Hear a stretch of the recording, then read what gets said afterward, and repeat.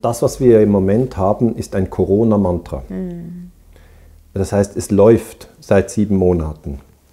Und das heißt, das Corona-Mantra löst Angst aus. Zwei verschiedene Ängste, die haben wir dargestellt, welche das sind. Aber in beiden Fällen geht es am Schluss nicht gut. Es ist jetzt nicht unbedingt angenehmer, vor dem Virus Angst zu haben oder unbedingt angenehmer von der äh, Gesundheitsdiktatur Angst zu haben. Du bist, hast einfach einen schlechten Tag wie du ganz richtig sagst, ein positiver PCR-Test bedeutet ja nicht, dass jemand krank ist. Die meisten sind ja. symptomfrei oder haben eine leichte Erkältung. Und du bist äh, sehr, sehr, Ärzt, oder du studierst Medizin, oder? Du bist, äh, du bist Ärztin, oder? Ich habe Medizin studiert, ich bin jetzt in der Psychologie. Okay, aber du bist ja vom Fach, oder? Du hast dein ich hatte PCR-Tests im Seminar und ich weiß auch, dass eine Spezifität ähm, von nicht 100 Prozent äh, gibt, dass es Fehler gibt. Und wenn ja. man unglaublich viel testet, dann genau. bekommt man falsch positive genau. Testergebnisse. Also das ist.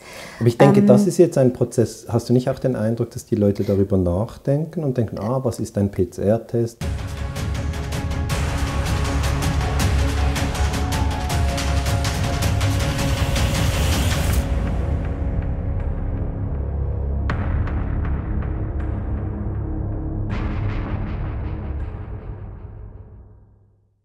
Ihr habt wieder Noviso eingeschaltet und das habt ihr gut gemacht. Herzlich willkommen zum Studio Talk heute zu Hause.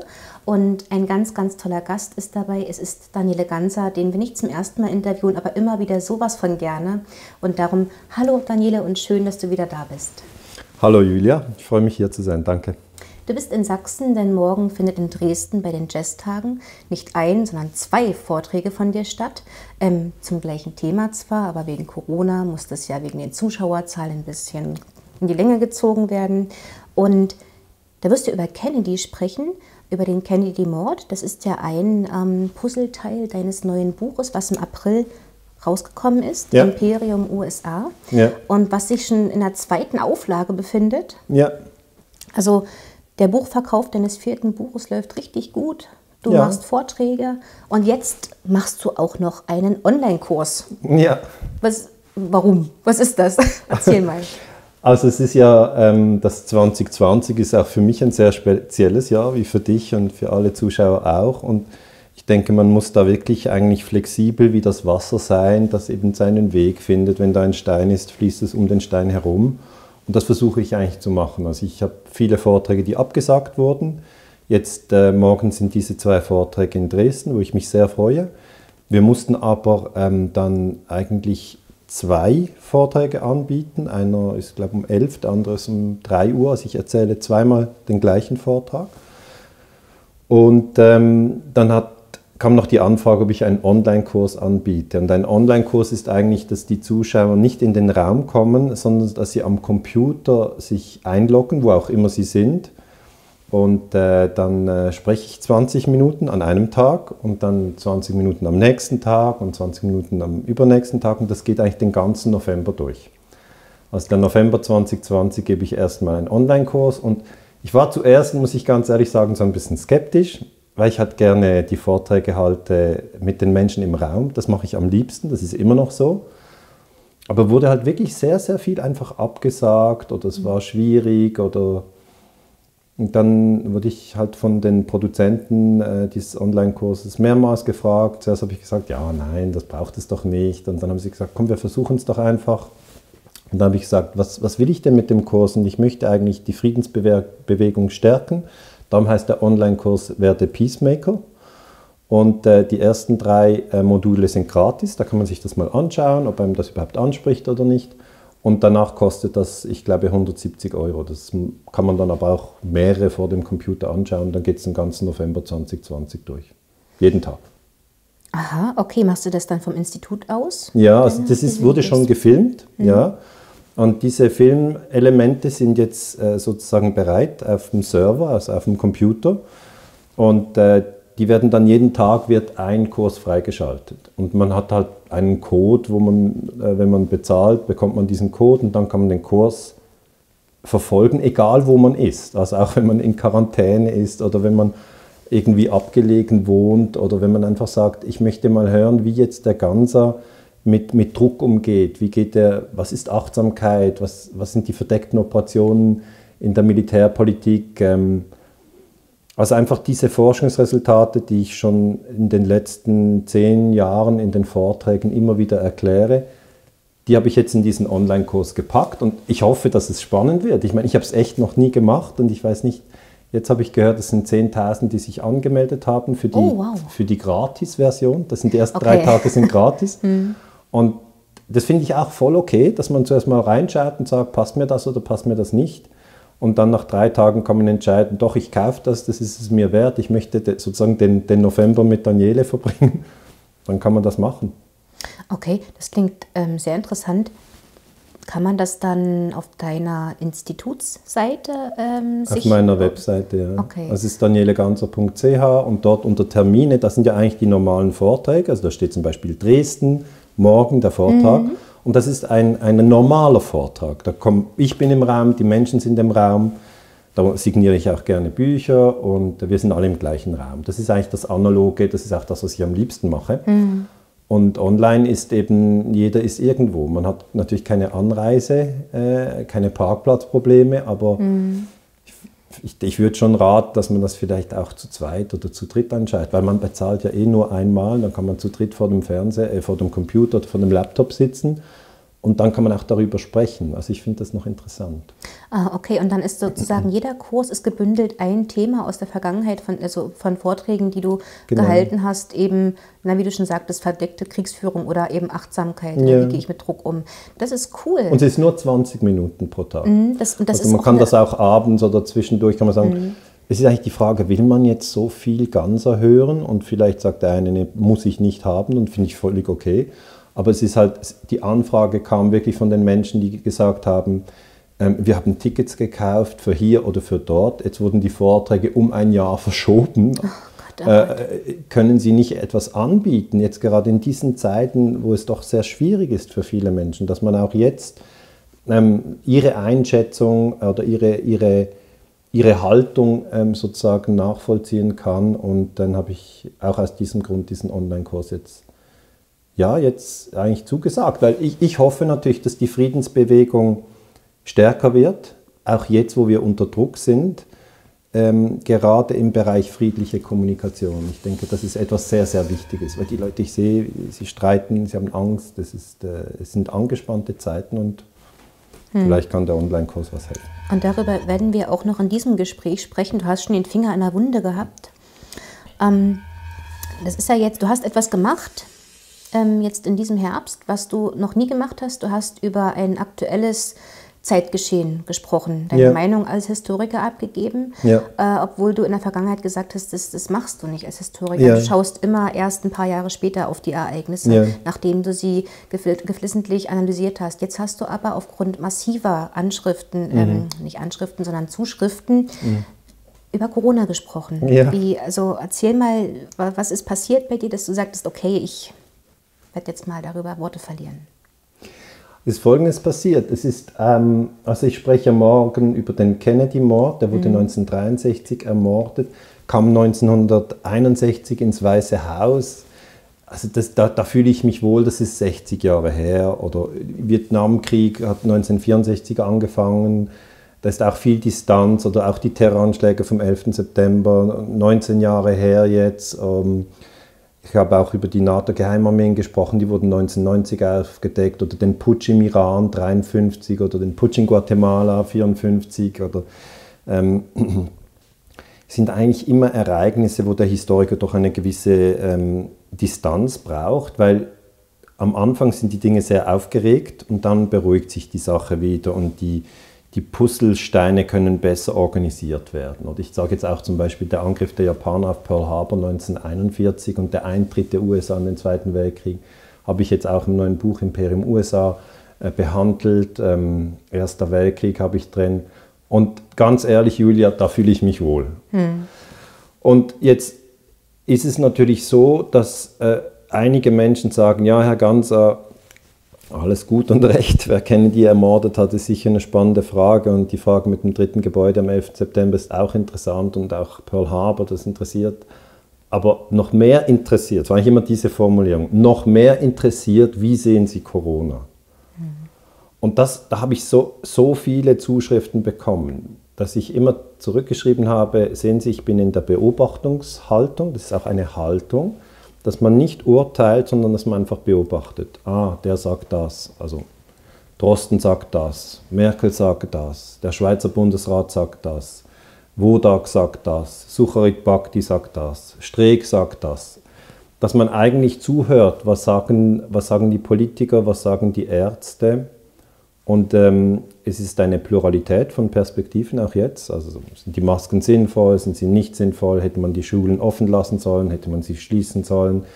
Ähm, kann man den Virus überhaupt eindämmen? Verbreitet er sich so oder so? Sind die wirtschaftlichen Schäden zu groß äh, oder ist das im Verhältnis? Ähm, äh, wie werden sich die Auslastung der Spitäler entwickeln? Wie ist die Todesfallzahl zu beurteilen? Also diese Infection äh, Mortality Rate. Also wie viele der Infizierten sterben und so weiter. Das haben die USA die meisten Toten oder hat Belgien die meisten Toten? Muss man das umrechnen?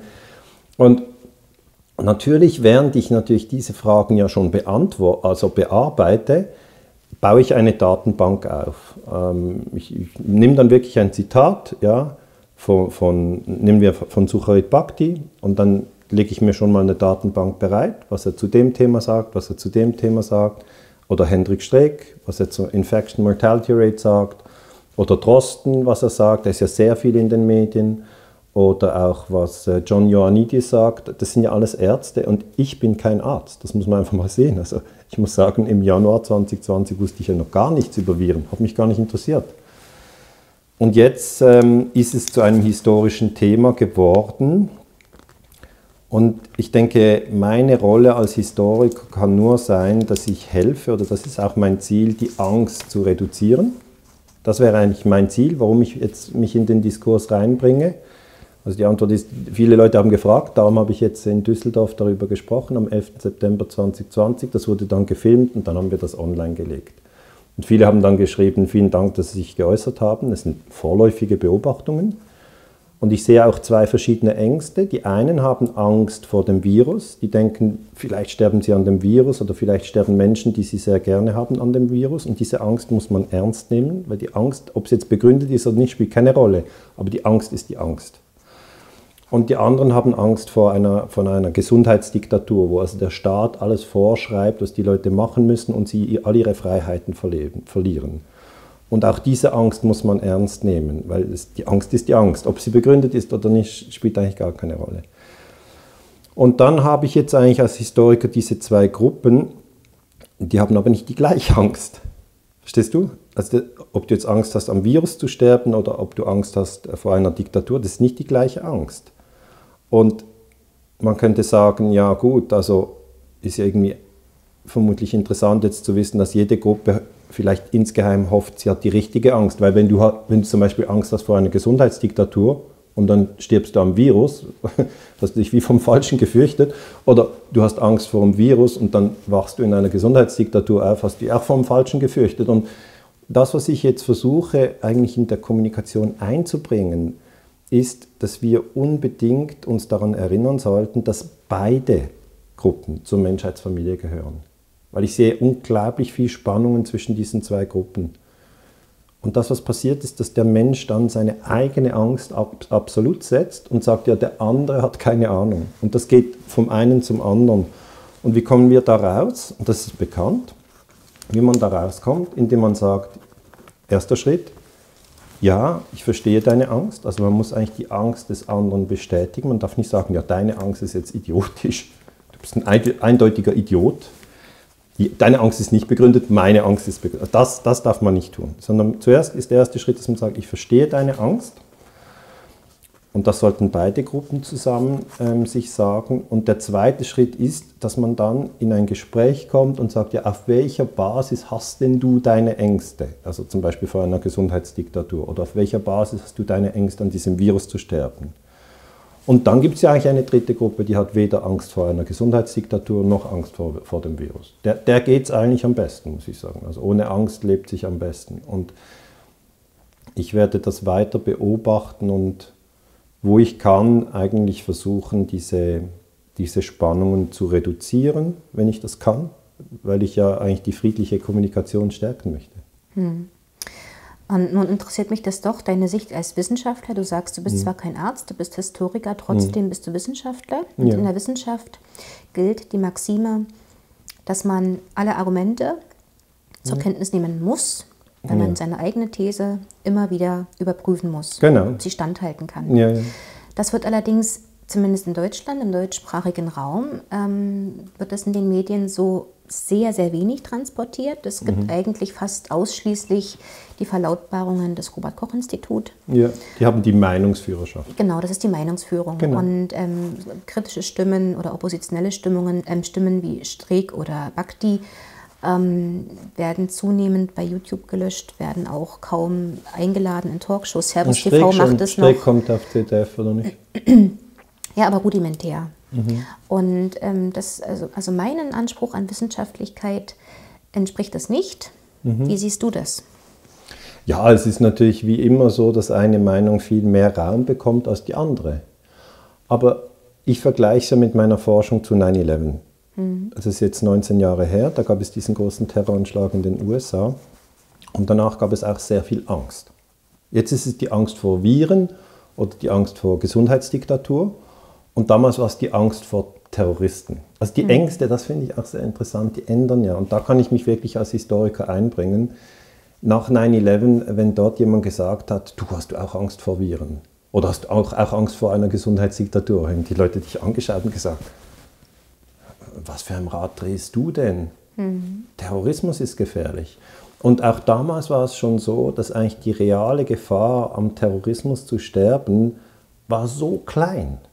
Also weißt du wirklich 0, irgendetwas, dass man sagen muss, wie kann man vor so einer kleinen Möglichkeit, dass das wirklich passiert, so große Angst haben. Auch jetzt, also die Angst vor dem, am Virus zu sterben, ist viel größer als die Wahrscheinlichkeit, dass das wirklich passiert. Auch bei der Gesundheitsdiktatur meiner Meinung nach dass jetzt wirklich wieder ein totalitäres System entsteht. Das ist ja in Deutschland auch so diese Erinnerung an, an 1933 bis 1945, also an das Dritte Reich, dass man sagt, ja, das hatten wir schon mal, das gab es schon mal. Wenn uns jetzt wieder alle Rechte weggenommen werden und wenn, wenn sozusagen ein totalitärer Staat entsteht, wo die Regierung alles entscheidet und diejenigen, die nicht gehorchen, ja, werden ganz brutal ähm, an die Wand gestellt, muss man schon sagen. Und das, das triggert etwas in Deutschland. Und da finde ich auch, muss man sich beruhigen. Also ich sage nicht, ähm, diese Befürchtungen sind, sind unbegründet. Ich sage auch nicht, die Befürchtungen der Leute, die Angst vor dem Virus haben, sind unbegründet, weil es gibt äh, schwere Verläufe, es gibt auch Tote. Das heißt, beide Gruppen haben bis zu einem gewissen Punkt recht. Es gibt diese Probleme. Aber wenn ich zurückgehe zu 9-11, da war auch dort eigentlich die Angst vor dem Terror, war auch, ja, einige sind an Terror gestorben, aber wir haben das so extrem raufgeschraubt. Also wir haben richtig uns reingehypt in eine Hysterie. Mhm. Und wenn du fragst, wird das in den Medien gut abgebildet, finde ich nein. Ich finde, in den Medien wird zu stark diese Hysterie gefördert. Das heißt, es werden halt jeden Tag neue Zahlen den Menschen um den Kopf gehauen und das jetzt schon seit sieben Monaten. Mhm. Und da sage ich, ich finde das nicht klug, ich finde das nicht ähm, zielführend, weil man stößt die Leute so in die Angst hinein. Warum das gemacht wird, darüber kann man wieder spekulieren. Wollen die Zeitungen Auflage, wollen die, wollen die Fernsehanstalten äh, Zuschauer anlocken und da machen sie ein großes Gebrüll. Aber zum Beispiel etwas, was mir auffällt, ist, dass immer jeden Tag über die Fallzahlen gesprochen wird. Die Fallzahlen. Jetzt, die Fallzahlen, das sind ja nicht ähm, Menschen, die sterben, sondern das sind Menschen, die einen positiven PCR-Test haben.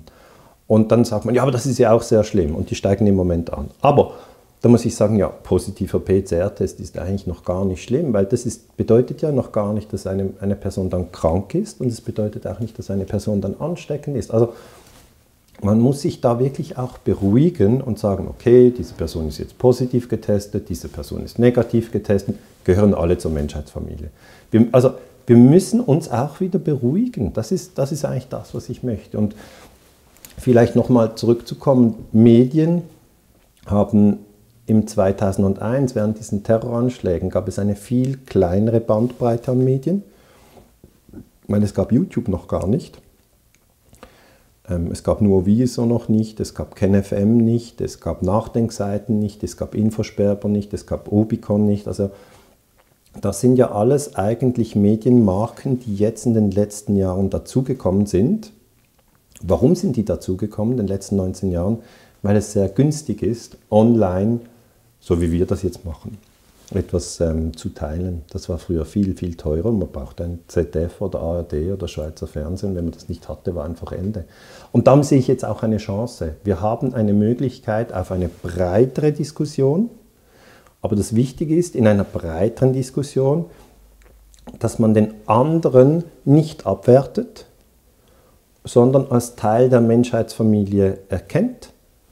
Und dann kann ein friedlicher Diskurs stattfinden. Und man muss sich auch nicht einig sein am Schluss. Also bei der Atomenergie haben wir auch diskutiert. Also ich bin zum Beispiel ein Gegner der Atomenergie.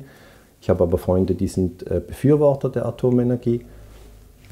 Ja, also das gibt es ja bei 500 Themen im Leben, dass man verschiedene Meinungen hat. Und da müssen wir lernen, meiner Meinung nach friedlich zu sein. Das, das ist wirklich ein großes Anliegen von mir, weil ich sehe so viel Streit als sich Noviso gegründet hat, 2008. Ja, wann war das? 2008? Da war das ähm, Thema ja, mit dem der Frank Höfer gestartet ist, 9-11. Ja. ja. also er hat ähm, erst beim Öffentlich-Rechtlichen gearbeitet und hat dann dort gemerkt, dass ähm, die Berichterstattung sehr mangelhaft ist, auch bezüglich 9-11 und hat dann seinen eigenen Film gemacht. Und schlussendlich war das die Geburt von Noviso und das war dann auch der Startschuss für die alternativen Medien. Und in diesen alternativen Medien haben wir ja ein Publikum, die ähm, den Corona-Maßnahmen gegenüber mehrheitlich sehr kritisch eingestellt sind. Ja. Und du hast vorhin gesagt, es wird sehr viel Hysterie produziert, das stimmt. Also zum Beispiel ne, absolute Zahlen, relative Zahlen. Absolute Zahlen bedeutet, dass 11.000 Infizierte sind. Klingt viel, oh mein Gott. Aber relativ gesehen sind es nur 0,014 Prozent der Bevölkerung. Und wie du ganz richtig sagst, ein positiver PCR-Test bedeutet ja nicht, dass jemand krank ist. Die meisten sind ja. symptomfrei oder haben eine leichte Erkältung. Und du bist äh, sehr, sehr, Ärzt, oder du studierst Medizin, oder? Du bist, äh, du bist Ärztin, oder? Ich habe Medizin studiert. Ich bin jetzt in der Psychologie. Okay, aber du bist ja vom Fach, oder? Du hast dein ich hatte PCR-Tests im Seminar und ich weiß auch, dass eine Spezifität ähm, von nicht 100 Prozent äh, gibt, dass es Fehler gibt. Und wenn ja. man unglaublich viel testet, dann genau. bekommt man falsch positive genau. Testergebnisse. Also das ist. Aber ich denke, ähm, das ist jetzt ein Prozess. Hast du nicht auch den Eindruck, dass die Leute darüber nachdenken und denken, ah, was ist ein PCR-Test? Ja, wie, wie genau. Fehler? Äh, lass mich den Gedanken nur ganz kurz zu Ende bringen, denn das, die, diese, diese kritischen Leute, die uns, die diese alternativen Medien konsumieren, die auch bei dir sehr gerne zuschauen, weil sie ja. eben sehr viel nachdenken. Ja. Ähm, die sehen nun, dass äh, ganz offenkundig da irgendwas nicht stimmt. Mhm. Dass es irgendwie diese Maßnahmen, diese drastischen Maßnahmen irgendwie nicht gerechtfertigt sind durch die eigenen Beobachtungen. Wie mhm. beispielsweise ist es was Banales wie, Moment mal, wie kann denn so ein PCR-Test eigentlich ähm, so eine Erkrankung, so ein Virus nachweisen und überhaupt, wie, wieso setzt man diese Infizierten gleich mit Kranken und das stimmt doch irgendwie nicht und das ist mhm. eigenartig, warum wird es nicht breiter diskutiert? Ja. Und dass sich dann die Angst, die Befürchtung einer, ähm, einer ähm, Gesundheitsdiktatur aufdrängt, kann ich sehr nachvollziehen. Mhm. Und wenn man sich dann noch vergegenwärtigt, dass gerade hinter den verschlossenen Türen in der EU ähm, mit auf Hochtouren darauf vorbereitet wird, das Bargeld abzuschaffen. In zwei mhm. bis vier Jahren sollen wir ja bargeldlos funktionieren. Mhm.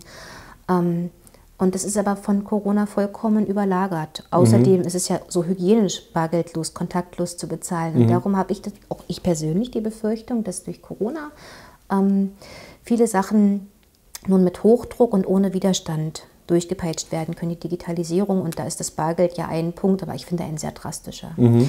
Und nun meine Frage, ich habe lange weit ausgeholt, aber ähm, hast du Verständnis für diese ähm, Menschen, die jetzt sich auch zu Hunderten, zu Tausenden in ganz Deutschland und überall auf der Welt auf die Straße begeben, weil sie ihre Angst vor, einer, vor so einer Art Finanz- und oder Digitaldiktatur ähm, zum Ausdruck bringen möchten und auch beklagen, dass ihre Bürgerrechte fundamental eingeschränkt werden durch Maßnahmen, die sie nicht begreifen gegenüber einem Virus, das sie nicht für so gefährlich halten, wie es die meisten Massenmedien suggerieren.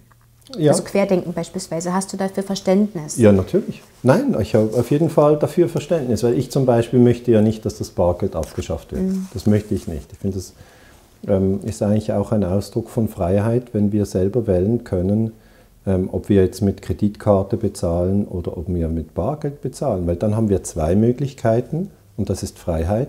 Wenn wir nur noch eine haben, dann sind wir natürlich bei jeder Transaktion überwacht und man kann sagen, okay, ähm, Daniele Ganser ist jetzt in Dresden, weil dort hat er gerade sein Hotel mit der Kreditkarte bezahlt. Das mache ich tatsächlich, aber es, es, ist, es ist jetzt freiwillig, ich könnte es auch bar bezahlen, mache ich jetzt im Moment nicht. Aber der Punkt ist der, dass ich einfach dafür einstehe, dass wir diese Freiheiten haben. Und ich stehe auch dafür ein, dass wir in, im, im Gespräch diese, diese Perspektiven, diese vielen verschiedenen Perspektiven einbringen dürfen und einbringen sollen. Also ich finde schon, ähm, dass die Möglichkeit da sein muss, dass jemand sagt, und ich ängstige mich mehr vor einer Gesundheitsdiktatur als vor dem Virus. Das muss möglich sein, ohne dass der ähm, diffamiert wird. Mhm. Ähm, und umgekehrt stehe ich aber auch dafür ein, dass jemand sagt, ich ängste mich mehr vor dem Virus als vor einer Gesundheitsdiktatur. Die sehe ich nicht. Ich sehe den Virus und ich habe auf das, weil ich sehe das so, dass wir in dieser Phase, in der wir jetzt sind, Ende Oktober 2020, ähm, sind beide Gruppen sehr aufgeregt. Also wirklich sehr. Mhm. Und mich erinnert das zum Beispiel an, an, an, den Vietnamkrieg. 1964 ist der Vietnamkrieg ausgebrochen. Und da habe ich nochmal angeschaut, was haben eigentlich die amerikanischen Soldaten gedacht, die dann in den Vietnamkrieg gegangen sind und Vietnamesen erschossen haben. Die haben ja wirklich Vietnamesen erschossen sind also von den USA bis nach Vietnam gegangen, schon mal ein Stück weit, oder? Mhm. Und haben dort Menschen erschossen. Also was, was geht denn ab im Kopf? Und da gibt es verschiedene Soldaten, die auch ähm, dann nach dem Krieg nachgedacht haben und das auch dargelegt haben, was sie, was sie geglaubt haben. Und ähm, einer zum Beispiel, Bill Eberhardt, hat gesagt, ja, in der New York Times stand eben, dass in Vietnam böse Kommunisten sind. Mhm. Und der amerikanische Präsident hat auch gesagt, in Vietnam sind böse Kommunisten. Und ich hatte keinen Grund, dem Präsidenten und der New York Times zu misstrauen. Und darum hat sich der mit, Achtung, 17 Jahren beim Militär gemeldet, ging nach Vietnam, hat dort am Krieg teilgenommen und nicht, weil er sich bereichern wollte, sondern er hat gedacht, wir müssen die Kommunisten bekämpfen, wir müssen die auch erschießen wir müssen sie auf dem Feld besiegen, weil in der New York Times stand oder auch der Präsident hat gesagt, wenn die Vietnamesen,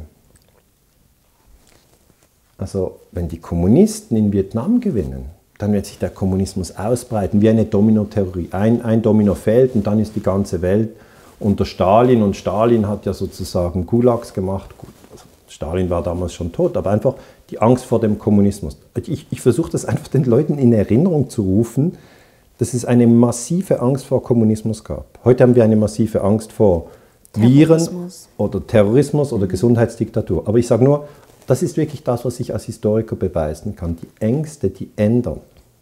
Und immer die Angst, die jemand hat, in dem Moment, wo er sie hat, ist für ihn extrem wichtig.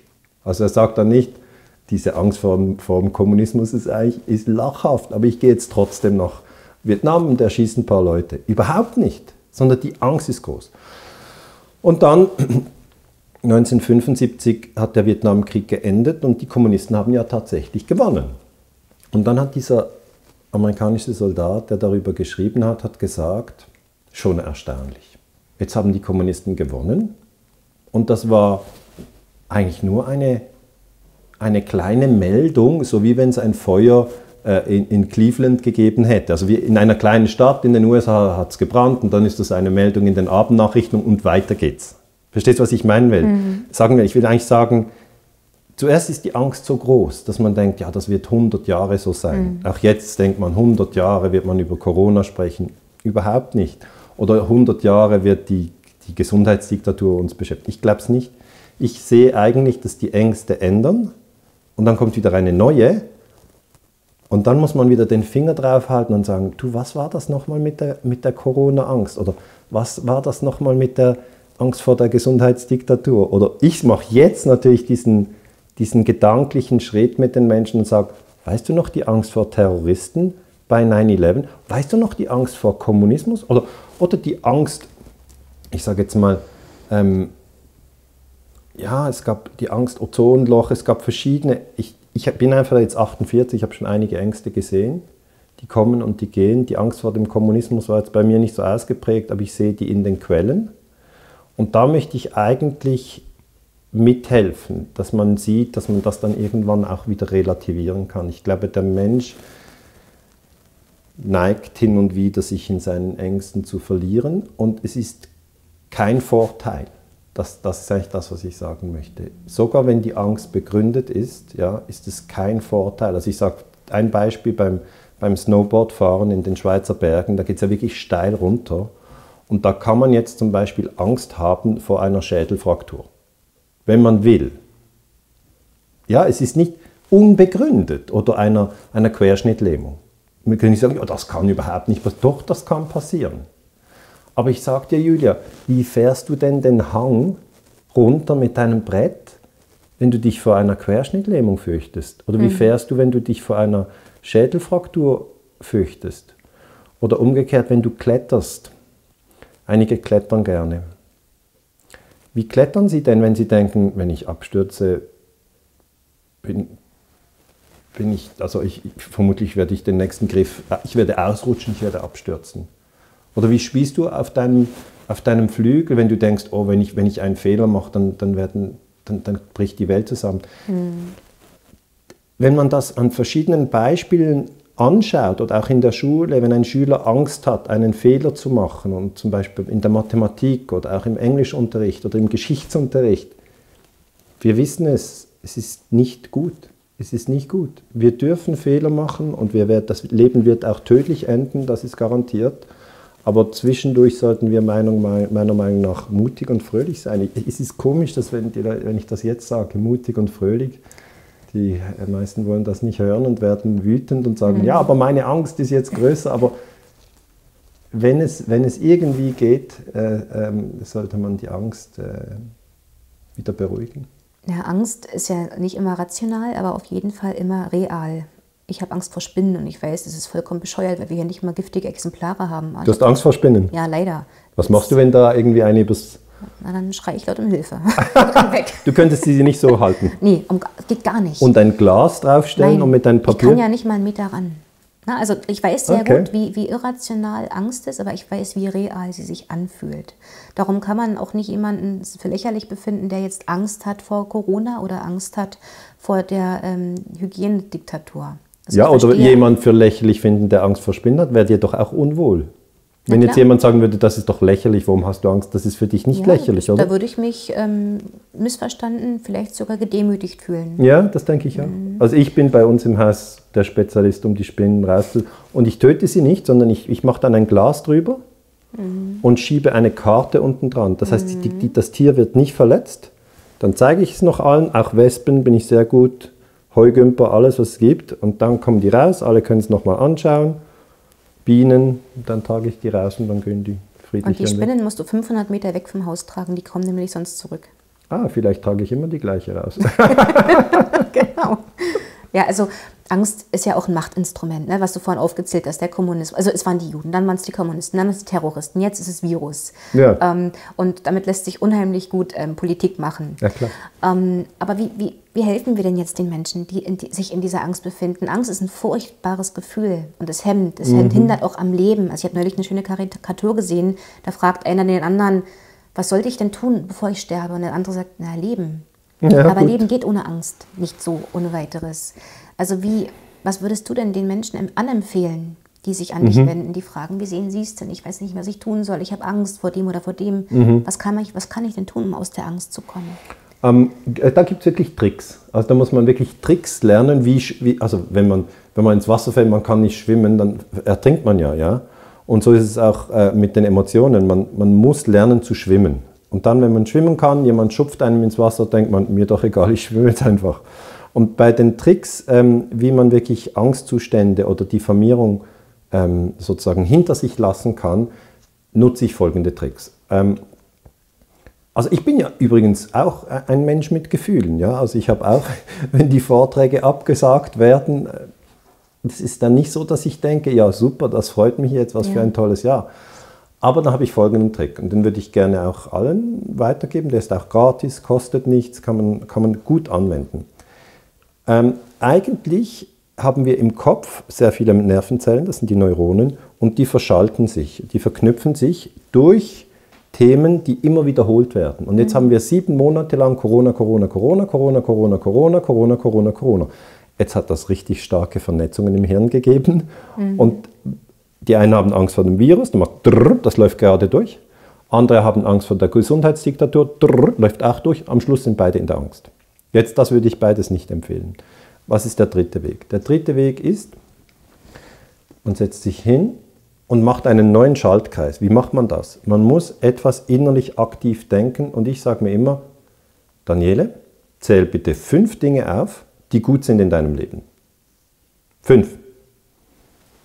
Dann sage ich mir, okay, das Dach ist noch dicht. Es regnet nicht rein. Und dann kommt schon diese Angst, ja, was nützt denn das Dach, wenn eine Gesundheitsdiktatur kommt? Was bist du für ein, ein kleinlicher Denker? Denk mal größer, das Dach ist doch völlig egal. Oder der, der andere Satz kommt, ja, die Viren, die interessiert doch das Dach nicht. Du stirbst dann einfach unter einem Dach, das dich ist und so. Also die Ängste, die können dann trotzdem kommen. Hm. Später, dann soll man nicht auf die hören, sondern zähl bitte fünf auf. Das Dach ist dicht. Und da werden die meisten Zuhörer werden die gleiche Situation haben. Das Dach ist dicht, es regnet nicht rein. Dann muss man sagen, ja, also ganz unwesentlich ist das nicht. Das ist doch toll. Es ist dicht, was Gutes. Zweiter Punkt. Draußen wird nicht geschossen und es gibt keine Landminen. Und dann kommt ja. schon wieder, dann kommt schon wieder der Satz, ja, wart's nur ab, das geht nicht mehr lange und so. Also weißt du, es gibt einen Teil in uns, der ist ein dauernder Schwarzmaler. Ja. Und den muss man bitte zurück auf seinen Platz weisen und sagen, vielleicht, vielleicht kommt irgendwann wieder ein Krieg. Aber wenn wir jetzt rausschauen, sehe ich hier vor allem einen wunderbaren Herbstwald und da gibt es keine Landminen hier in Sachsen. Es gibt keine. Es gibt doch keine. Und es gibt auch keine Flieger, die über uns fliegen und Bomben abwerfen. Also bitte bleiben wir bei den Fakten. Das Dach ist dicht, im Garten und draußen im Dorf ist Frieden, definiert, es ist kein Krieg mit Panzern und, und Landminen. Es ist schon eine angespannte Stimmung, ist schon, aber das würde ich niemals als Krieg bezeichnen, weil Krieg ist nochmal etwas ganz anderes. Ja, wer wirklich Krieg erlebt hat oder Krieg studiert hat, und das habe ich viel gemacht, ich habe es nicht erlebt, aber ich habe viel studiert, der weiß, das ist viel, viel schlimmer. Also ich sage immer, wir haben jetzt vielleicht Probleme, aber Sophie Scholl hat es viel schwieriger. Mhm. Und das ist eigentlich auch der dritte Punkt, dass wenn man denkt, was auch immer die Überlegung ist, ob man jetzt Angst vor der Gesundheitsdiktatur hat oder Angst vor dem Virus, dass man das relativiert und sagt, welche anderen Probleme hat, hat es in der Menschheitsgeschichte schon gegeben und dann kommt man ziemlich schnell runter. Ja. Dann kommt man wirklich schnell runter. Zum Beispiel Sophie Scholl hat während dem Dritten Reich sich gegen die Hitler-Diktatur aufgelehnt. Sie hat Flugblätter gedruckt, ja, in einer Garage, hat die zusammengefaltet mit ihrem Bruder Hans und noch anderen von der Weißen Rose, hat die in ein Kuvert gesteckt und aus dem Telefon, es gab ja kein YouTube, es gab kein Facebook, hat aus dem Telefonbuch irgendwelche Namen ausgesucht und hat die verschickt, damit die Leute gegen den Krieg aufstehen. Mhm. Und dann hat sie noch an der Universität München diese Blätter ausgeteilt, ja. da wurde sie entdeckt. Ja. Und dann wurden sie enthauptet. Beide, also die, die Eltern mussten beide Kinder gehen lassen und die wurden enthauptet. Jetzt muss man sagen, das ist doch krass. Und dann müssen wir uns sagen, haben wir diese Probleme jetzt? Nein, wir haben sie nicht. Also das Dach ist noch dicht, ja? draußen ist Frieden. Ähm, in anderen Zeiten war es viel schwieriger. Und vielleicht gelingt es dadurch schon ein bisschen einen Teil der Angst zu reduzieren. Ich sage vielleicht minus 50 Prozent. Und man bekommt das vielleicht nicht auf Null, aber der nächste Schritt, ich habe ja gesagt, muss fünf Dinge sagen. Ich sage mir dann manchmal, ja, und Daniele, kannst du atmen?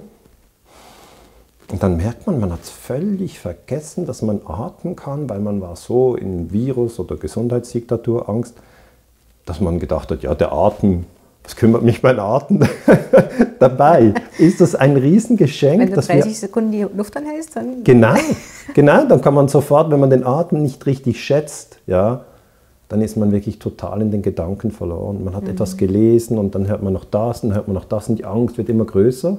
Und dann übernimmt eigentlich dieser Nervenstrang dominiert das System. Und dann ist wirklich das Beste, dass man dann sagt, okay, wenn du die Atmung nicht schätzt, wenn du sie wirklich nicht schätzt, also du bist dir zum Beispiel nicht so bewusst, denkst, wie wichtig ist eigentlich der Atem, ist der wichtig, ist der nicht wichtig, dann halt ihn einfach an. Halt ihn an. Und schon nach 15 oder 30 Sekunden wirst du merken, äh, was ich da immer gedacht habe über Viren oder Diktatur, ist mir jetzt völlig scheißegal, ich will vor allem wieder atmen. Und dann muss man sich innerlich so fragen, ja, aber die Angst, die du vorher gehabt hast, du gesagt, das ist ja viel, viel wichtiger als, als Atmung. Und dann gehst du in die 40 Sekunden rein von Atem anhalten und dann wirst du sagen, ich glaube, ich habe mich da geirrt, es ist viel wichtiger zu atmen, ich bin sehr dankbar wieder zu atmen, darf ich vielleicht jetzt wieder atmen? Ja, aber vorher warst du doch überzeugt, du hast hier so großartige Probleme und die Atmung, für die, die wolltest du ja gar nicht dankbar sein. Dann kann man ja mal eine Minute nicht atmen, geht ja zum Beispiel, ja. je nachdem, wie man trainiert ist. Die, die Taucher können das gut, okay? Aber äh, jeder hat seinen Punkt, wo er sagt, ich freue mich so auf den nächsten Atemzug. Und dann den sehr bewusst einzuatmen, sehr bewusst und zu sagen, ja, ja, stimmt, stimmt, ich kann atmen. Und das wäre dann Punkt 4, Dankbarkeit für den Atem. Und Punkt 5 wäre, wenn man das hat, Freunde, Familie, Gleichgesinnte. Einfach Menschen, mit denen man sprechen kann. Natürlich, ich weiß, es gibt jetzt während dieser ganzen Social Distancing äh, Situation leider eine größere Entfernung. Aber ich habe zum Beispiel auch die Geschichte gehört, ein Freund von mir wohnt in Amsterdam mit seiner Frau, die Kinder sind schon ausgezogen und er hat mir gesagt, ja, meine Frau ähm, ruft jetzt, seit diese Krise ausgebrochen ist, diese Corona-Krise, jeden Tag ihre Mutter an. Ja, das haben die früher nie gemacht. Aber jetzt machen die, die sprechen jeden Tag eine Stunde am Telefon. Die sagt, oh, es ist Abend, ich rufe nach meinem. Das ist ein neuer Rhythmus geworden. Das heißt, man kann auch ähm, Kommunikation wieder aufnehmen, die man vielleicht vernachlässigt hat, weil man mehr Zeit hat oder weil man das für wichtig hält. Es muss jetzt nicht die Mutter sein, es kann, es kann ein Freund sein oder andere tauschen sich aus per Mail oder sie schreiben sich wieder Briefe, gestalten vielleicht einen Brief, was sie früher nie Zeit hatten oder Lust und jetzt plötzlich machen sie eine Collage, zeichnen etwas. Das heißt, die, dieses soziale, der soziale Kontakt ist sicher auch etwas Wertvolles. Also das ist der Trick. Mein Trick, vielleicht hilft da irgendjemandem, ich sage mir, das Dach ist dicht, ähm, ich sage mir, es ist Frieden, es ist immer noch Frieden. Ähm, ich sage mir, ich kann atmen, ich habe ein, ein, ein soziales Netzwerk. Und das sind, das sind Dinge, die man, nicht, die man nicht gering schätzen soll. Und idealerweise wird, wenn man diese Technik anwendet, die, die fünf Dinge aufzuzählen, die man gut findet, und muss sie wirklich selber gut finden. Man darf sich nicht betrügen und sagen, ja, ich, ich, ich wohne hier an meinem Lieblingsort, dabei ist man an einem Ort, wo es einem nicht wohl ist. Ja, das sollte man nicht machen. Es mhm. muss wirklich etwas sein, wo man schätzt, wo man wirklich sagt, da bin ich froh. Weil dann verknüpft sich im Hirn ein neuer Strang genau. und dann kann man aktivieren, wenn die Angst kommt. Und damit das ähm, genauso eben immer wieder wiederholt wird und sich festigt, wirst Muss du das vermutlich täglich machen. genau täglich und dann wie ein Mantra immer die gleichen Dinge. Das ist ja, weißt du, was ist ein Mantra? Mantra ist etwas, was man immer wiederholt. Genau. Und das, was wir im Moment haben, ist ein Corona-Mantra. Mhm. Das heißt, es läuft seit sieben Monaten. Und das heißt, das Corona-Mantra löst Angst aus. Zwei verschiedene Ängste, die haben wir dargestellt, welche das sind. Aber in beiden Fällen geht es am Schluss nicht gut. Es ist jetzt nicht unbedingt angenehmer, vor dem Virus Angst zu haben oder unbedingt angenehmer von der äh, Gesundheitsdiktatur Angst zu haben. Du bist, hast einfach einen schlechten Tag. Und da rauszukommen, ist wirklich, man muss einen dritten Weg gehen. Und dann kann man natürlich sagen, ah, ich warte bis, bis auf ZDF oder in der Süddeutschen Zeitung ein neues Mantra kommt. Nein, das kannst du vergessen. Ich würde diesen Impuls, der von dort kommt, reduzieren. Oder auch gewisse Leute haben völlig aufgehört, diese, diesen Impuls überhaupt aufzunehmen. Und dann selber einen Impuls starten. Oder machst du das nicht vielleicht manchmal, weil wir hier so schön sitzen, setzt du dich an, an den Flügel und spielst? Mhm. Das machst du vermutlich, oder? Na klar. Ja, eben. Ich kann das nicht, aber wenn ich das könnte, und ich glaube, viele, die, die solche Fähigkeiten haben, können auch dort, es ist auch ein Mantra. Man wiederholt einfach etwas. Und dann muss man, oder andere gehen eine, ich gehe gerne eine gewisse Strecke im Wald, die ich kenne, dann mhm. gehen sie einfach diese Strecke. Also das heißt, irgendwie ist es eine spannende Zeit, weil man muss jetzt ganz bewusst herausfinden, was tut mir gut. Und das kann sein, ich spiele jetzt eine Stunde am Flügel oder ich rufe meine beste Freundin an und quatsche eine Stunde mit der oder ich schaue meine Lieblingsserie oder, oder ich gehe eine Stunde im Wald. Aber einfach, man muss sich, also muss, man muss gar nichts. Aber wenn man wach ist, wird man verstehen, dass man die äußeren Phänomene nicht beeinflussen kann, aber die inneren Phänomene extrem. Du hast mir jetzt so eine gute Brücke gebaut, denn während ich dir zugehört habe, hat sich bei mir die Frage aufgedrängt, bedeutet das, dass wir denn diese Zustände hinnehmen müssen und lernen müssen, mit, ihren, mit ihnen umzugehen? Oder sollten wir nicht auch Energie bündeln, um uns zu wehren gegen Ungerechtigkeit, die der Bevölkerung angetan wird? Ja, also ich wehre mich schon lange gegen Krieg. Mhm. Also das heißt ja nicht, dass man nicht aktiv sein soll. Mhm. Man kann aktiv sein. Aber ganz wichtig, wenn ich, mein Ziel ist, die Friedensbewegung zu stärken. Seit vielen Jahren. Das war auch vor Corona so, das ist während Corona so, das wird nach Corona auch sein. Also auch der Online-Kurs oder mein Buch oder der Vortrag morgen. Es geht alles diesem übergeordneten Ziel, die Friedensbewegung soll stärker werden. Das heißt, ja, ich bin jemand, ähm, der sagt, man soll eine politische Position einnehmen und zum Beispiel meine Position ist, die Bundeswehr sollte nicht in Afghanistan sein, deutsche Soldaten sollten innerhalb der Landesgrenzen stationiert sein, die sollten auch nicht nach Syrien oder Mali, sondern das sollte eine reine Verteidigungsarmee sein. Auch die Schweizer, die haben ein paar Soldaten im Kosovo. Ich verstehe es nicht, wir sollten die Soldaten einfach in der Schweiz halten und für Österreich dasselbe. Also ja, politische Positionen sind völlig in Ordnung, aber das, was uns nicht sozusagen verloren gehen darf, ist die Qualität des Diskurses. Also dass wenn ein anderer Mensch eine andere Meinung hat und sagt, nein, ich finde es wichtig, in Afghanistan den Terrorismus zu bekämpfen, das ist ja die offizielle Geschichte. Mhm. Also da könnte ich jetzt lang drüber sprechen, ist nicht meine Position, aber es gibt Menschen mit dieser Position. Dann das respektieren und nicht die andere Person anschreien und nicht, und das ist ganz wichtig, die andere Person abwerten, weil das sehen wir jetzt bei Corona die ganze Zeit. Diskussionen zwischen Menschen, die Masken tragen, Menschen, die keine Masken tragen. Und dann wird sehr oft abgewertet. Und da sage ich auch, da habe ich eine gewisse Übung drin. Wegen meiner Forschung zu 9-11 wurde ich sehr viel abgewertet. Hm. Und da vielleicht der nächste Trick. Was soll man tun, wenn man abgewertet wird? Also da habe ich wirklich viel Abwertung bekommen als hm. Verschwörungstheoretiker ja. etc., weil ich gesagt habe, dritter Turm, WTC 7, das sieht nach Sprengung aus. Und dann wurde ich abgewertet. Jetzt, das kenne ich seit vielen, vielen Jahren. Und da möchte ich auch da eine Technik mitgeben. Der erste Punkt ist der, es gibt keine Pflicht zu sprechen. Okay? Das heißt, wir sind frei zu entscheiden, spreche ich oder schweige ich. Du meinst mit rechtfertigen? Ja, also okay. wenn dir jemand sagt, Julia, du bist ich weiß nicht was. Und dann kommt was Schlimmes. Kannst ja selber irgendetwas ausdenken. Ich sage mal, ein Idiot. Okay? Jemand sagt, Julia, bist ein Idiot. Was dann passiert, es geht durch deine Ohren ins Großhirn, die Nervenzellen bünden sich und blub, Idiot.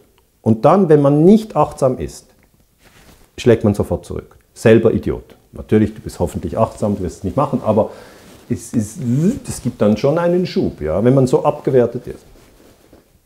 Bei mir war es ja Herr Ganser, Sie sind ein Verschwörungstheoretiker. In der Schweizer Fernsehsendung Arena war das zum Beispiel ja. zu sehen. Und auch aber in anderen, ich habe es immer wieder erlebt. Jetzt ist es nicht so, dass das nichts mit einem macht. Das soll man auch ähm, zuerst zugeben, dass das etwas mit einem macht. Jetzt, wenn Menschen abgewertet werden, weil sie sich so oder so verhalten, da gibt es ja Streit in der Straßenbahn, im Einkaufszentrum, im Arbeits, überall. Jetzt gibt es aber da auch Techniken, wie Schwimmen. Und die erste Technik ist, nicht zu antworten für mindestens 10 Sekunden. Man hat immer das Gefühl, ja, pf, das ist ja wohl dann eine Niederlage, wenn man nicht sofort zurückschlägt, oder? Nein, das ist es nicht, sondern in diesen 10 Sekunden in die Atmung reingehen. Okay? Weil der Druck nach einer Beleidigung zurück zu beleidigen, ist vor allem in den ersten Sekunden sehr stark. Nach nehmen wir das Extrem, nach fünf Minuten, also der eine beleidigt den anderen, der sagt, du bist ein Idiot, dann vergehen fünf Minuten und dann sagt der andere, du übrigens, habe ich noch ganz vergessen, dir zu antworten, du bist auch ein Idiot. Das passiert eigentlich nicht, sondern es ist immer, tadang, es geht sehr schnell. Und diesen Automatismus sollte man brechen in der friedlichen Kommunikation Und der einfachste Weg ist zu schweigen und sich innerlich auszutarieren. Weil was Paul über Peter sagt, sagt mehr über Paul als über Peter. Das heißt, der andere zeigt eigentlich durch die Abwertung, dass er nicht ganz zentriert ist. So viel kann man sagen. Ja. In der Wut, in der Angst, in irgendeinem Zustand hat er, weil sonst hätte er es nicht nötig, auf irgendjemanden rund zu trampeln. Und die Friedensbewegung ist dahingehend gefordert, dass sie diesen 10-Sekunden-Trick vielleicht einübt. Manchmal gelingt das vielleicht auch nicht, aber dann soll man sich auch nicht selber abwerten und sagen, no, ich kann es immer noch nicht, jetzt habe ich dem anderen auch zurück, also im Straßenverkehr. Man fährt, ja? Mhm. Und dann ste steht man irgendwie und dann sieht man, hier wird ein Parkplatz frei, man steht schon lange und man wäre an der Reihe. Dann kommt einer und nimmt den Parkplatz. Wumm, geht's los, oder? Sind die Emotionen hoch. Und dann, wenn man nicht achtsam ist, geht man voll auf die Hupe, steigt aus und sagt schlimme Dinge, so wie wenn etwas ganz Schlimmes passiert ist. Wenn man zentriert ist, sagt man, okay, das war nicht fair,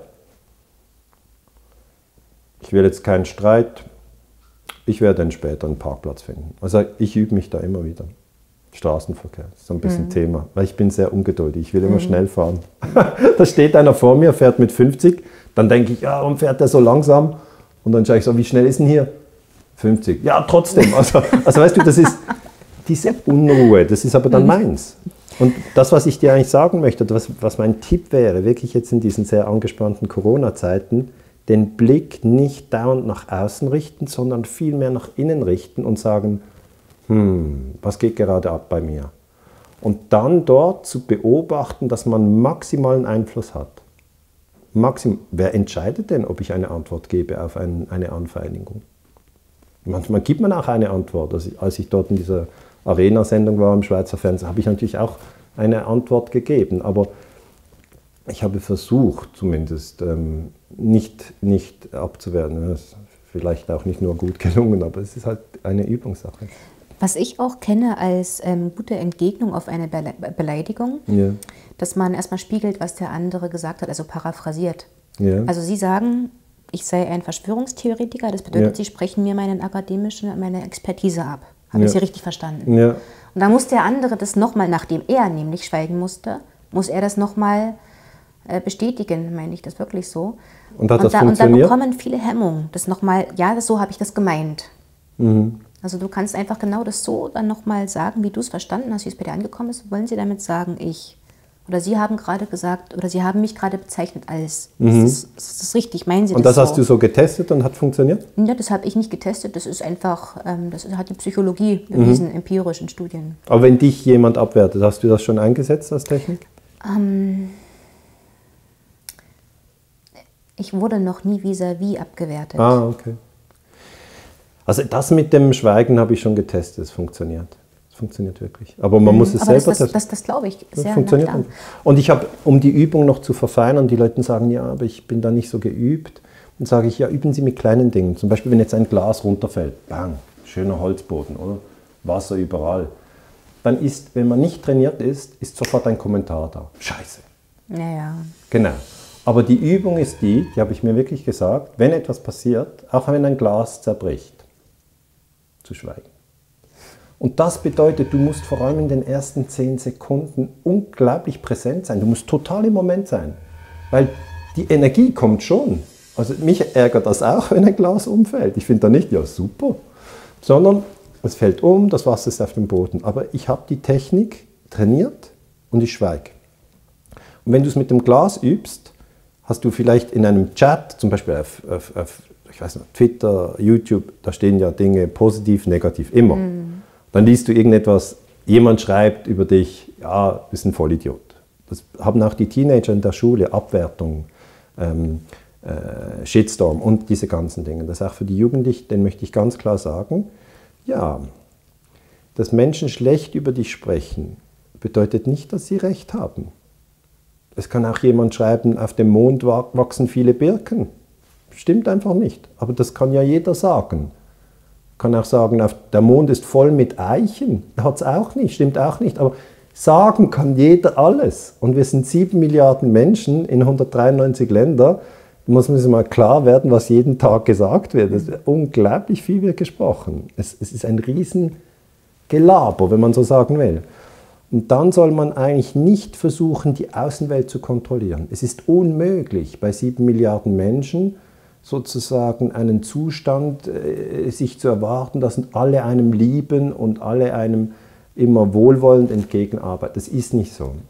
Sondern der Trick ist der, dass man sagt, ja, manchmal treffe ich auf Menschen, mit denen habe ich eine gute Kommunikation, ohne Abwertung, ohne Diffamierung, die treffe ich gerne. Manchmal treffe ich auf Menschen, die sind äh, sehr negativ, sehr angriffig, sehr, diffamieren einen, die treffe ich dann einfach auch nicht mehr so viel. Aber dann bleiben ja die, die, die man eigentlich gar nicht erwartet und die da plötzlich auftauchen und einem diffamieren. Das ist dann die letzte Gruppe. Und mit dieser letzten Gruppe kann man wirklich mit den 10 Sekunden Schweigen Technik kann man sehr, sehr gut umgehen und dann finde ich, das ist das eigentlich strategisch geregelt. Hm. Das ist auf jeden Fall ein sehr guter Punkt, finde ich. Und ich hoffe, dass das sich sehr viele, eigentlich alle Menschen ein bisschen oder richtig zu Herzen nehmen. Denn der Zorn in der Bevölkerung aufeinander, gegeneinander, der ist so immens. Ja, wächst also immer, ne? so Pressemitteilungen, dass die Bundeswehr gerade einen Atomkrieg probt oder wenn das deutsche Heer twittert, dass sie jetzt ähm, auch üben, gegen die eigene Bevölkerung loszugehen. Ja, das sind so Randnotizen, weil man ist vielmehr damit beschäftigt, den als böses Schlafschaf zu bezeichnen, weil der seine, seinen Maulkorb freiwillig ummacht und der andere wird eben als Aluhut tragende Verschwörungstheoretiker beschimpft und, und so sind die so Schlaf, so, Schlafschaf gegen Aluhut, oder? Aber so, und ich habe wirklich den Eindruck, dass sich diese Fronten unversöhnlich verhärten. Aber die gehören beide zur Menschheitsfamilie. Absolut. Und äh, es, ist, es ist eine Bevölkerung. Schlussendlich ist das die Bevölkerung, die ähm, die, die Menschheit ausmachen, die von Regierungen, Großkonzernen, Bankenwesen gelenkt werden, ähm, fremdbestimmt, unter anderem auch ausgebeutet werden. Und dieses Teile- und Herrscherspiel, was ja schon so alt ist, ja, dem ja. römischen Imperium, ja, ähm, das funktioniert gerade so unheimlich gut und dem müssen wir uns bewusst werden. Gerade in der Friedensbewegung genau. sagt man das ja immer wieder, Teile und Herrsche, nicht drauf reinfallen. Genau. Also ich habe gerade das Gefühl, dass doch da sehr, sehr viele leider drauf einfallen und sich so von ihren Gefühlen, von ihrem Zorn leiten lassen, auch nicht nur von der Angst, sondern eben der Zorn auf die andere Gruppe, die das nicht verstehen will und die so ignorant sind und hey, da müssen wir uns echt zurücknehmen. Genau. Und da die fünf das, Dinge aufzählen, ja, und ich super, die gut was, sind. Was du gerade Zehn Sekunden hast. schweigen, wenn man abgewertet ist. Das sind, das sind wirklich, und mhm. da kann, kann nicht jemand sagen, ja, ich habe kein Geld, ich kann das nicht machen. Sag ich immer, hey, hey, es ist gratis. Es mhm. ist gratis. Und ich sage auch immer, du hast einen Vorteil, weil du sparst extrem Energie. Also weißt du, bei mir ist ja so, ich bin jetzt bei Corona auch erst sieben Monate dabei, wie wir alle.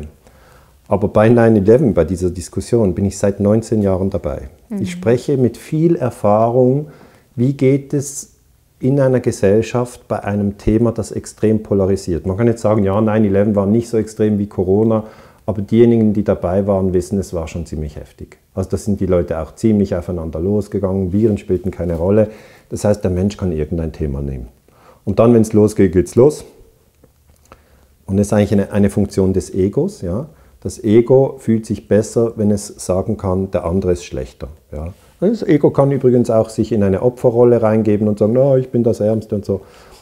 Und diese Ego-Funktion soll man eigentlich transzendieren, das heißt überwinden und sagen, der andere gehört auch zur Menschheitsfamilie. Es gibt keinen Grund, ihn abzuwerten, auch wenn er eine ganz andere Meinung hat, und zwar total andere Meinung. Zum Beispiel eine wählt AfD, der andere wählt die Linke und ein dritter wählt gar nicht, weil er sagt, alle die, die wählen, die sind ja bescheuert. Und der, der AfD wählt, der denkt, der, jemand, der die Linke wählt, der ist bescheuert. Und jemand, der die Linke wählt, denkt, ja, jemand, der AfD wählt, ist bescheuert. Das heißt, in diesem Dreieck denken alle vom anderen, sie sind bescheuert. Mhm. Okay? Wie kommt man aus der Nummer raus? Indem man sagt, okay, die gehören alle zur Menschheitsfamilie. Das heißt, man sieht zuerst einen Punkt, der einem verbindet. Ja, wir sind hier alle sterblich. Du wirst sterben, ich werde sterben, alle, die das sehen, sterben. Niemand von uns bleibt länger. Wir sind, wir sind, wir sind alle sterblich. Und dann plötzlich, ah, okay, ja, stimmt. Und dann zweitens, wir atmen alle. Wir atmen. Wir sollten uns wieder runterfahren, in Ruhe atmen. Und das ist kein Plädoyer, dass man seine eigene Meinung aufgibt. Meine Güte, ich schreibe ja Bücher und halte Vorträge und bringe meine Ansichten da öffentlich dar. Man, jeder Mensch hat eine Meinung. Ein Vegetarier muss ja nicht jetzt seine Meinung aufgeben, dass jetzt Tierfabriken aus seiner Sicht falsch sind. Das ist seine Meinung. Es geht nicht darum, Meinungen aufzugeben, das ist ein wichtiger Punkt, sondern es geht darum, andere Meinungen in Ruhe und in Frieden zu akzeptieren, auch wenn sie völlig anders sind. Und da in dieser Übung stecken wir mittendrin. Wir üben das jetzt mit, mit äh, Gesundheitsdiktatur, Angst gegen Virusangst, ja. Und gerade weil es so große Ängste sind, also Virusangst ist eine sehr große Angst, da denkt man wirklich, das ist sehr gefährlich. Und Gesundheitsdiktatur ist auch eine große Angst. Das ist eigentlich wenn es jetzt eine Übungsanlage ist, kann man wirklich sagen, das ist eine heftige Übungsanlage. Mhm. Und jetzt ist ähm, Oktober, bald kommt November, da kommt, jetzt kommt Weihnachten, kommt Januar, Februar. Die Übung hört nicht auf. Die Übung liegt jetzt da, sie läuft schon. Während wir hier in Frieden sprechen, wissen wir nicht, ob wir heute im Laufe des Tages auf Menschen treffen, wo die Übung sofort losgeht. Und da möchte ich eigentlich alle, die in der Friedensbewegung sind, dahingegen stärken, dass sie in der Kommunikation mit anderen Menschen möglichst zentriert und friedlich sind. Und wenn sie alleine sind und niedergeschlagen, was uns allen jetzt immer wieder mal passiert, wenn es regnet und, und irgendwie was, gewisse Leute haben ihre Existenz verloren, sie verlieren mhm. Geld oder, oder dann, wenn, man, wenn man wirklich erkältet ist, denkt man schon, oh, es ist schlimm, ich habe jemanden angesteckt. Es gibt verschiedene Gründe, warum man niedergeschlagen sein kann dass man dann diese, diese Dankbarkeitsübung macht und sagt, okay, was sind die fünf Dinge, für die ich dankbar bin? Man kann auch sagen, im Kühlschrank hat es doch noch zu essen, oder? Hat es noch zu essen? Ja, es hat noch zu essen. Und da geht man so schnell drüber hinweg. Weißt du, Julia, die Historiker haben gedacht, wenn jeder, wenn jeder einen Kühlschrank hat, dann sind alle zufrieden. Das haben wir gedacht. Und wenn jeder noch eine Geschirrspülmaschine hat, aber dann bricht das absolute Glücksgefühl aus, wenn wir das noch mit einer Waschmaschine kombinieren können, nicht mehr am, am, am Fluss alle schruppen müssen. Und jetzt haben das alle und es ist so, mm, weiter geht's, wir haben ganz neue Probleme. Und da sage ich eigentlich, dankbar sein für die Dinge, die gut sind. Hat man eine warme Dusche, ist das möglich? Hat man, ja. Kann man dankbar sein. Hat man auf dem Smartphone zehn Lieblingslieder? Hat man. Wir haben so viel und sehen es nicht mehr. Und dann kann man aber im Hirn wirklich das aktivieren. Jeder muss sich seine Brm fünf, du musst ja wirklich selber überlegen, was seine fünf sind. Und dann macht das Sinn, das im, in der, im Sinn der Mantra-Technik, weil ähm, die Nervenzellen verknüpfen sich durch Wiederholung. Ja. Also 7, 14, 21, 28, 35. Die siebener Reihe, die hat man so oft wiederholt, dass einfach macht 7, 14, 21, 28, 35, 42, 49. Weißt du, das, das läuft. Hm. Oder I go, you go, he, she, it goes, we go, you go, they go. Also Konjugieren eines Verbes, das ist auch, man macht das immer wieder. Oder Klavier spielen, du machst immer wieder. Und das sind, so funktioniert der Mensch. Und jetzt haben wir leider ein Corona-Mantra und das mhm. treibt die Leute in den Wahnsinn. Und dann soll man eigentlich dieses Mantra aufhören und sein eigenes Mantra machen. Das heißt nicht, dass man nicht hin und wieder auf die Zahlen schaut oder mit Leuten ins Gespräch kommt. Aber wenn man, wenn man unter, unter, unter Niedergeschlagenheit leidet, unter Wut, unter Angst, dann ist es sicher Zeit, das eigene Mantra zu aktivieren. Und das können wir. Und das ist gratis. Ich habe mal in der Kinderkrebsstation gearbeitet. Seitdem ja. ist mein Mantra, meine Kinder sind gesund. Ja, genau. Ja, Aber dann verschiebt sich das auch wieder, wenn man sagt, was ist denn jetzt die Sorge, die mich jetzt umtreibt und was, was müssen Eltern durchmachen, die ein Kind verlieren an ja, Krebs? Da wird man sehr demütig. Ja, mhm. ja. Dankeschön für das Gespräch, Daniela. Es ja, war wieder eine, eine, große Freude und es war auch ähm, für mich sehr bestärkend, sehr herzerwärmend und ich denke, ich kann persönlich viel davon mitnehmen und ihr, liebe Zuschauer, hoffentlich auch. Wir sehen uns morgen wieder beim Vortrag in Dresden, Daniela. Dann werden wir auch noch mal eine Diskussion machen. Es ist ja viel in den Medien gelaufen vorher, bevor du hergekommen bist, ja. wegen des Vortrages. Wie kann man denn den Daniele Ganze zu den Jazztagen einladen? Und da wird es noch viel Diskussion geben. Ich bin da, gespannt. Da hatte ich schon wieder Möglichkeiten zu üben. Genau. Das ist alles eine Übung in Achtsamkeit, genau. Immer wieder. Und Herzlichen Dank, dass du dir die Zeit genommen hast heute. Ich danke dir, Julia. Vielen eine Dank. große Freude. Ja. Wir sehen uns dann morgen wieder. Ja. Und ihr, liebe Zuschauer, ich hoffe, wir sehen uns auch ganz bald wieder. Ich wollte euch noch etwas mit auf den Weg geben, denn ich weiß aus den Kommentaren bei Nuoviso, die wir bekommen, viele von euch sind natürlich auch sehr zornig und ich verstehe das gut. Einer der Menschen, die ich am allermeisten schätze, achte und lieb habe, hat eine komplett andere Meinung zu Corona als ich. Und wisst ihr was? Ich habe ihn trotzdem noch genauso lieb wie vorher. es ist halt nur einfach eine andere Meinung. Und es geht. Also bleibt gesund, bleibt zuversichtlich und wir sehen uns ganz bald wieder. Macht's gut, eure Julia. Das war schön. War gut. Der oder? Schlusssatz war super. Ja. Weil es war genauso, hey, um das geht's. Weil diese Spaltung, das wird uns fertig machen.